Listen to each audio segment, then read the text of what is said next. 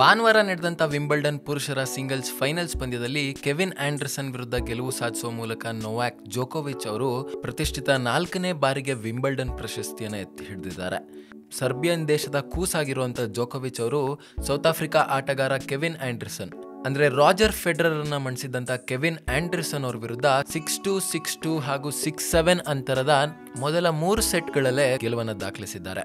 ಮ್ಯಾಚ್ನ ಆರಂಭದಿಂದನೂ ಜೋಕೋವಿಚ್ ಅವರು ಒಳ್ಳೆ ಆಟನ ಆಡ್ತಾ ಬಂದರು. ಆಂಡರ್ಸನ್ ಅವರು ಜೋಕೋವಿಚ್ ಆಟಕ್ಕೆ ಪ್ರತ್ಯುತ್ತರವಾಗಿ ಒಳ್ಳೆ ಆಟನ ತೋರಲೇ ಇಲ್ಲ.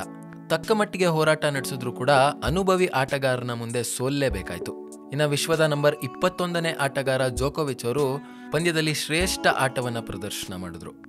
ಇನ್ನು ಮ್ಯಾಚ್ ಸ್ಟಾರ್ಟ್ ಆದಾಗಿಂದನೂ ಜೋಕೋವಿಚ್ ಅವರು ಡಾಮಿನೇಟ್ ಮಾಡಿಕೊಂಡೇ ಬರ್ತಾರೆ. ಏಯ್ತ್ ಸೀಡೆಡ್ ಪ್ಲೇಯರ್ ಕೆವಿನ್ ಅವರನ್ನು ಕೇವಲ ಎರಡು ಪಾಯಿಂಟ್ ಕೊಟ್ಟು ಮೊದಲನೇ ಸೆಟ್ಟಲ್ಲಿ ಸೋಲಿಸ್ತಾರೆ. ಇನ್ನು ಸೆಕೆಂಡ್ ಸೆಟ್ಟಲ್ಲೂ ಕೂಡ ಕೇವಲ ಎರಡೇ ಎರಡು ಪಾಯಿಂಟನ್ನು ಕೊಟ್ಟು ಆ ಸೆಟ್ಟಲ್ಲೂ ಕೂಡ ಗೆಲ್ತಾರೆ.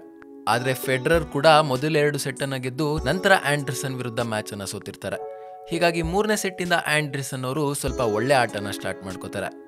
ಮೂರನೇ ಸೆಟ್ಟಲ್ಲಿ ಸಿಕ್ಸ್ ಸಿಕ್ಸ್ ಆಗಿ ಟೈ ಬ್ರೇಕರ್ ಆಗುತ್ತೆ. ಇನ್ನು ಟೈ ಬ್ರೇಕರ್ನಲ್ಲಿ ಜೋಕೋವಿಚ್ ಅವರು ಆರಾಮಾಗಿ ಗೆದ್ಕೋತಾರೆ.